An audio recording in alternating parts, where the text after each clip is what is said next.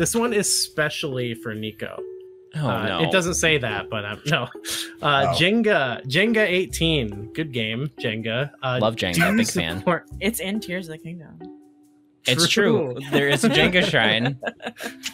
This isn't a Tears of the Kingdom question, actually. So, Oh. do you support the Majora's Mask theory that each dungeon and characters associated represent the stages of grief? grief? Yes. Yes. Is this Nico? You know about That's this, a cool right? one. And I think the main reason is that they did not do this on purpose. I think it's because they were in such a horrible, tight schedule of just working 20 hour days, trying to build this new video game in one year, like almost literally to the day, I think, one year, that they basically were going through the process of grief. They- And so they they just hated basically life. they just basically made the game that's why it's got so much heart and soul in it is because they were just so were angry lives. Yeah. like this is the time where nintendo needed to like back off and chill meanwhile you get super mario wonder where they're like oh we didn't have deadlines we didn't have specific dates we didn't have crunch we just wanted them to Yowie zowie. Every- Yeah, everyone wowie loves zowie. working here. it's like we we have really good labor yeah uh, You're like, anyway this game sucks. Where's Majora's Mask? Where's the pain? Where's the pain and suffering that we can feel from the devs, the heart and blood? Um, but no, I no. I do believe that it does represent the stages of grief, and you could watch videos about it all day long and be like, okay, yeah, I guess if you really look into it, but no, like genuinely, What do you It's know about- off the it's top about yeah, your let's, let's go. Let's go through them. Isn't Should it I- like Go through all the, Clocktown? uh, Clocktown's denial, right? Clocktown 'Cause is the denial. People there, so there are a bunch of people there that are like, Nobody no, believes it's falling. the end days. Yeah, no one believes. I mean, found what are the this stages of article grief? From Wow. 2015 on Zelda Dungeon by Oh, Allison Aletha. Wow. Yo. Shout out Al. Yo, we Um, play Pokemon Go together. It's cool. Oh, it's it's It's about, about, a YouTube, a YouTube video. video. I thought Oh, Allison come on, laid it Al. down. Allison, Lazy. come on. Okay, let's let's okay. First, we talked about the first. Oh gosh. hmm Um, third stage of grief is bargaining. Oh, anger. skipped o- Okay, Anger anger is Deku, right? Deku Okay, Swamp. does it go in order of the stages of grief? That I don't know. I don't know. Um, let, let me let me look. This is this is what you get with off the cuff questions. Well, I mean, this is a fantastic is question. The Goron one. In order, it's denial. Okay, denial is first, which we talked about. Clock Denial. That's in Mhm. Egypt.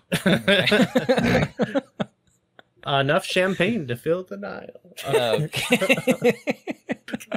Um, so that makes sense, and it's chronological then. 'cause denial is clock town, and, And that makes then sense. Anger. Anger, Anger. so which that's is Deku. the Deku, yeah.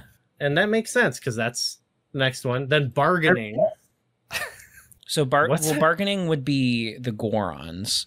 yes. Um, How are they bargaining? Yeah, What are they Oh. bargaining for? Because he's uh bargaining for his life back. I don't know if I fully understand. Yeah, I mean, the Zora one is the one that really hits home. Depression. That's the depression. depression. It literally, it's That's the depression. yeah, Yeah. She's depressed about her dying eggs. I mean, like that's sad. And dead and then, cow. um, and then what? Acceptance is that the last one? Acceptance. Yeah. Acceptance Which is is literally like Power.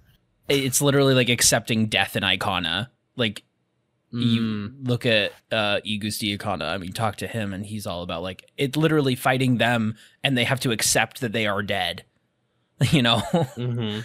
um and but I don't know. The- the bargaining one I maybe just don't fully understand the bargaining uh, you know um Does it have part- something to do with like uh the the baby Goron and like the elder Goron? Because he's like, isn't he like, oh, like I'm gonna go find Darmani or something?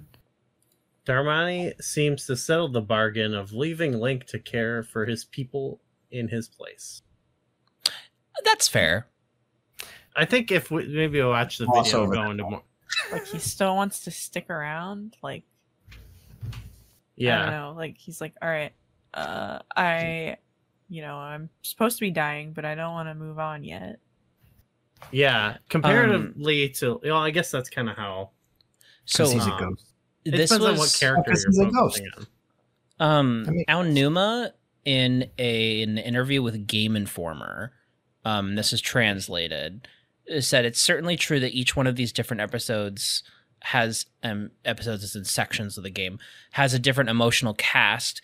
One feels like it's tinged with sadness, another with anger.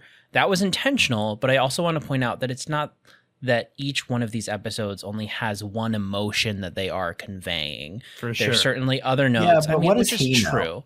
Yeah, Aonuma, you don't know anything about Zelda.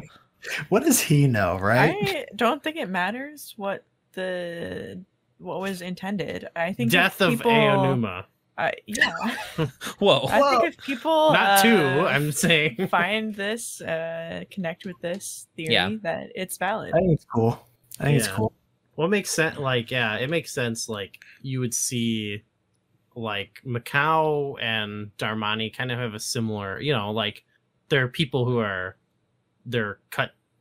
Well, they're, I guess, all the Well- masks. like, we don't really know the story of the Deku Butler's son, but, you know, like, certain characters embody the different themes Yeah. differently. Whereas, like, then you And- have, like, Lulu, who's more of, It's kind uh, of interesting. you know.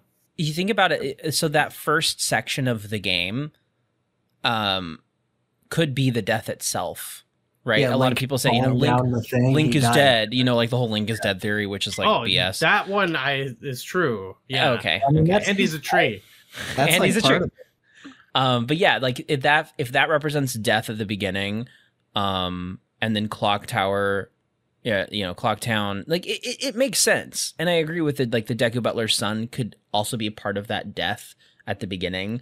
Um and it's something that you can totally walk by and you know Tatl will be like oh wow that's depressing let's go you know and like like you don't know what that is until the end credits where it's like for sure confirmed basically Mm. i mean i guess It makes sense. It makes sense. We're Yeah, all like- gonna die someday and get sucked up into the moon. Yeah, isn't that isn't that lovely? But no, so uh, Nintendo fan, that was their name.